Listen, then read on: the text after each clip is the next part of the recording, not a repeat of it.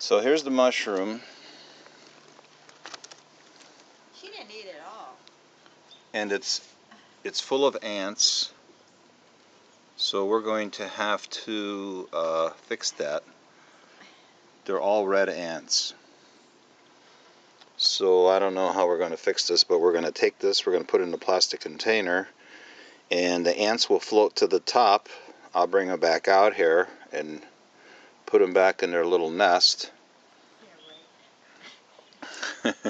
And there's poor Mary.